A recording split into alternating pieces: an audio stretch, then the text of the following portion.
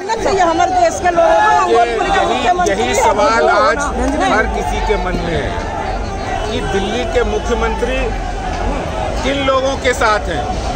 वो दिल्ली के दिल्ली में दंगों की आग में झोंकने वाले जो लोग हैं उनके साथ खड़े होते हैं। वो ताहिर हुसैन के साथ खड़े होते हैं वो शर्जील इमाम के साथ खड़े होते हैं वो पिंजरा तोड़ गैंग के साथ खड़े होते हैं वो दिल्ली के अंदर तिरंगे को जलाने वाले तिरंगे को अपमान करने वाले लोगों के साथ खड़े होते हैं और आज भारत माता का लाल दिल्ली का बेटा जब रिंकू शर्मा की हत्या होती है तो मौन हो जाते हैं चुप हो। जाते हैं। इस बात का जवाब देना पड़ेगा। पचपन किलोमीटर दूर अखलाक के घर चले जाते हैं बंगाल चले जाते हैं मध्य प्रदेश चले जाते हैं अपनी राजनीतिक रोटियाँ सेकने के लिए और पाँच किलोमीटर दूर रिंकू शर्मा की याद नहीं आती है।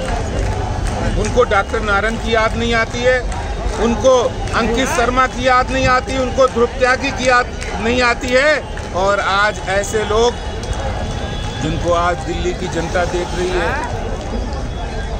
जो राम भक्त रिंकू शर्मा की मौत हुई है, हत्या हुई है, जो जघन्य हत्या और जो जो गद्दारी करके पीठ पर छुरा भोंक के हत्या हुई है।